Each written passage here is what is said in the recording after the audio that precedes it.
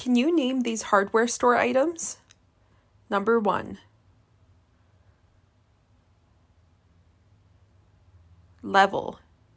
Number two. Saw.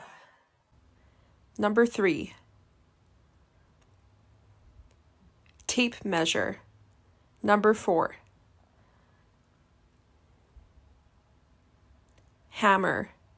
Number five. File.